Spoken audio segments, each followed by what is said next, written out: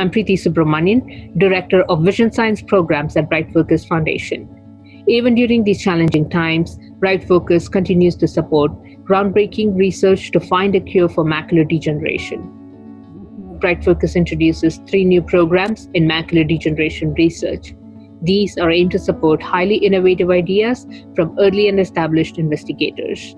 Our postdoctoral fellowship provides support to postdoctoral researchers for up to two years during their final stages of mentored training. Our new investigator award provides support for up to three years to early career independent researchers.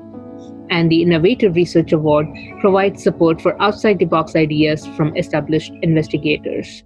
Click the link below to learn more about our new programs and submit a letter of intent with your ideas.